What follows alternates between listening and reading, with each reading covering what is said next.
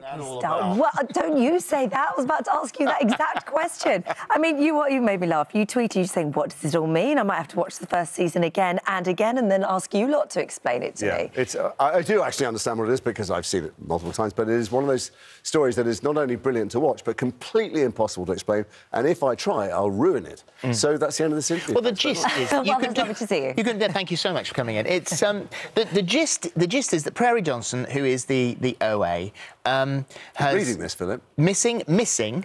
um, yeah, only the names. Okay. So, but missing for seven years. When she when she went, when she when she disappeared, she was blind. Yeah. Um, and then seven years later, miraculously, she comes back. She has restored sight. And she gathers a bunch of misfits together. She won't tell anyone what's going on. She won't tell the FBI. She gathers. This is part one, yeah. which mm -hmm. is already online, been there for a while. Um, she gathered a bunch of misfits together in a loft, and she started to tell them this story. Was it true? Was it not true? You're never quite sure. The story she tells is remarkable about being held in a basement by a scientist who is trying to cure death. Which is you. Conducting some strange experiments. And increasingly, these kind of misfits tend to believe her, but her story becomes more and more outrageous, and the things she's asking them to do to jump dimensions seem uh, questionable, and maybe she's just mentally ill. Mm. Uh, and then I don't even know how I shouldn't describe it. I'll tell you this about it. Uh, that it's one of the most binge shows on Netflix, and I don't mean more people watched it than others. Mm. There are many popular shows.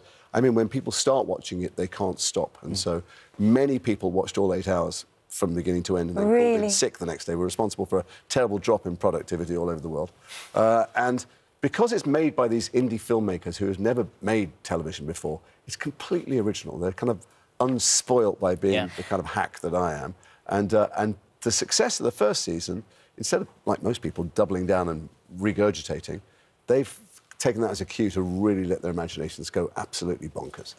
And and the other thing is, even at the end of season one, and don't worry, I'm not going to give anything away, any spoilers. But even when people have watched it, they're still questioning oh, there are questions. It. I mean, they're still going, well, actually, and people are forming their own opinions yeah. of what's actually well, happening see, and what's going right. to happen. I'm asked all the time in the stream, and all over the world, people come up and want to talk about it. But here's the thing: most television shows are made. You put something on, if people like it, everyone goes, oh, thank God for that. Let's try and make some more, and let's try and extend it. They sat down for two years before they tried to sell it, and they mapped out five seasons of this extraordinary spiritual thriller mystery. Well, uh, for you as a character, as you, I mean, you've done very well here, and you always do very well uh, keeping things secret. Um, uh, but you did actually. I just don't uh, want to spoil it for Yeah, of course. But it's got to be tough. I mean, it, that, that, not only that, but I mean, you've got uh, Star Trek Discovery. Mm. You know, uh, uh, we don't know whether he's going to come back. Have, uh, oddly parallel yeah. universes. Yeah. it must be in the ether. You were as, as, as Lucius Malfoy. You had to keep he had to keep that relatively. Well, I know it, been, it, was in a so book, but nevertheless. That's the thing. That we, a new Harry Potter film would come along, and I'd always sign them as Mickey Mouse or John Lennon and go, you do realise the book's on sale, don't you? I don't yeah. know why we had to keep those things a secret. Everyone knew the story. But with these things, they are entirely, this is an entirely original story. And uh, it's mind-blowingly original. I mean, I don't, they didn't have to sell it because they'd written all the scripts. Yeah. If they'd had to pitch this, I'm not sure anyone would have bought it because it's so unusual. Uh, but now it's on and it's popular. They're given license to do their own thing in their own way. And you, uh, to get the role, was it a phone call sort of in the middle of the night? Yeah, there's a weird thing. They did start shooting with somebody else uh, it didn't work out, thank God, because it's one of the most interesting parts I've ever played. I got a phone call in the middle of the night saying, we're sending you eight scripts, read them now. And I went, well, I'm, just going to bed. And they went, well, you're Skyping the director at 2 o'clock in the morning. And I went, I, I really don't want to. Can I do this tomorrow? And they went, no, because if you like it and he likes you, you have to get on a plane at breakfast. And I read these eight things and I was, my head was spinning. I'd never read anything like them. I Skyped the guy. By the time my kids came down for breakfast, I was packed. Oh, my God. I Flew to New York. I got off the plane and I went straight to Grand Central Station and shot my first scene. Yeah, it was. Wow, it was, that's a very good sign. What, what's what's interesting about what, what's happening with the, the way we watch uh, movies and TV and drama now is that um, you're saying, quite obviously, you've fallen madly in love with this, as have uh, you know this it's army of fans. There's nothing worse than that than saying he's a fan, but I'm a huge fan of this. which is which is great. fantastic. and so, um, let's be honest, but that's okay. Steven Spielberg said that um, that Netflix movies shouldn't be at the Academy yeah. Awards. Um, what do you think about that?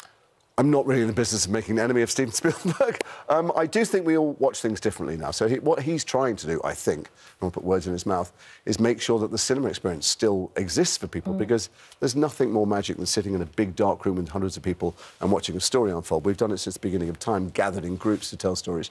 And I think we do it because there's a connection between you and the other people in the dark room. When you Yeah. see a piece of truth of human behaviour unfolded, you suddenly feel less alone.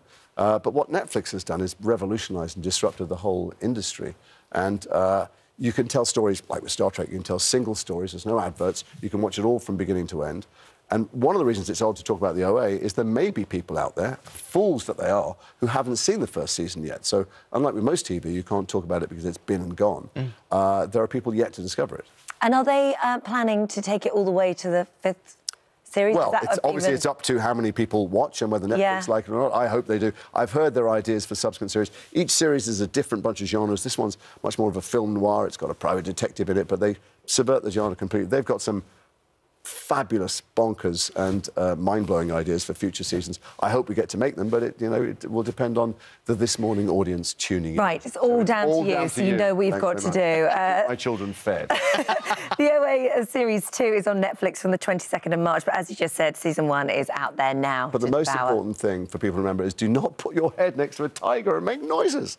Right. Chuffing. Insane. It's chuffing madness. That's what it is. Oh my God. There's the noise. Thanks very There's the noise. Well, you didn't you chuff with a fox? Uh, I did have a fox come into my front room the other day. I was terrified.